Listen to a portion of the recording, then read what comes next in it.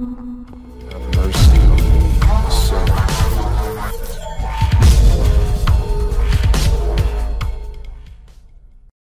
up and sit down.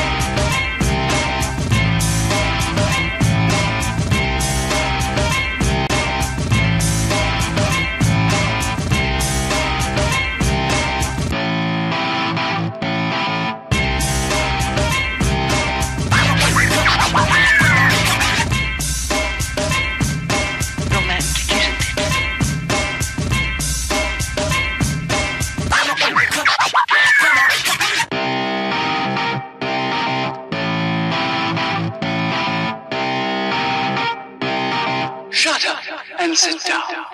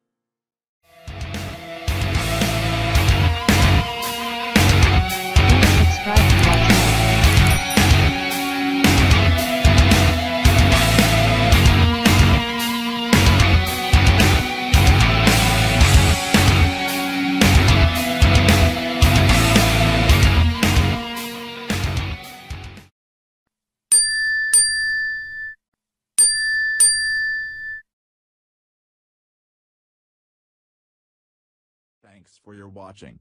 I hope you enjoyed this video. I will have more power to publish the next videos if you subscribe this channel and enable all notifications to make sure you never miss any videos in the future. Thank you so much. I'll see you in the next videos.